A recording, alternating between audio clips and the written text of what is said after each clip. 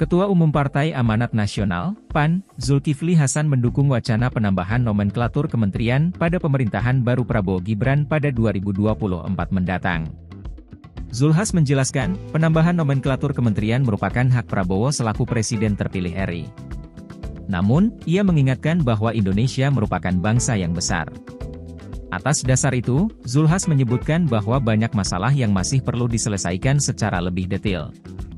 Penambahan nomenklatur ini diharapkan bisa menjadi solusi. Sebelumnya, Wakil Ketua Umum Partai Gerindra Habibur Rahman merespons soal munculnya isu kalau Prabowo Gibran akan membentuk sebanyak 40 kementerian di kabinet yang dipimpinnya. Habibur Rahman menyebut, sejatinya soal pembentukan kabinet itu murni berada pada hak prerogatif dari Prabowo Subianto sebagai presiden terpilih. Namun jika membicarakan soal jumlah, Habibur Rahman menilai tidak masalah jika memang nantinya akan terbentuk banyak kementerian. Pasalnya, Indonesia merupakan negara yang besar, dan memiliki tujuan dan cita-cita yang besar juga.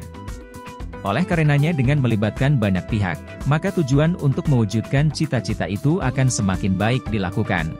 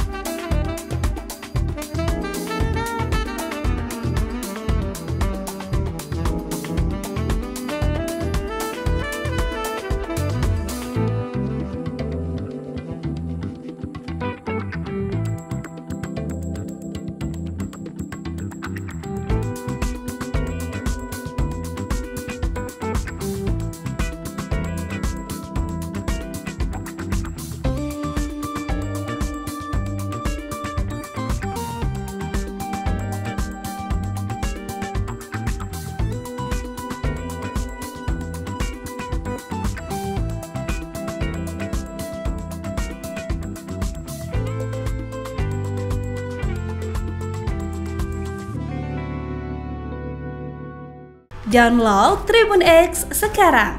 Menghadirkan lokal menjadi Indonesia.